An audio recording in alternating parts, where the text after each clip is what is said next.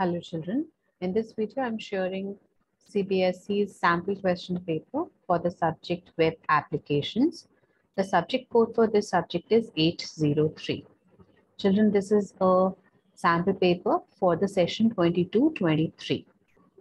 The exam is for three hours duration and is for 60 marks. The paper is divided into two parts. Part A, employability skills for 10 marks in which you have three chapters, self-management skills, ICT skills, and entrepreneurial skills. These three chapters are for 10 marks.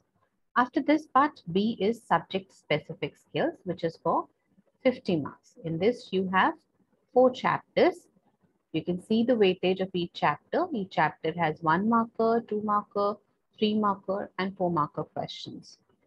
Now, children, if you wish to download the sample question paper, you need to check the description of this video. You'll get the link for downloading the sample question paper.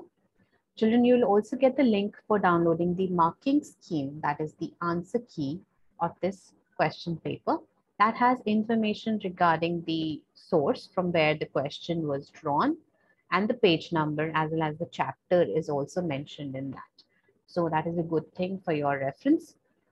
Again, I'm repeating children, the link for downloading this particular question paper and the marking scheme is in the description of this video. I hope you like the video. Thanks for watching.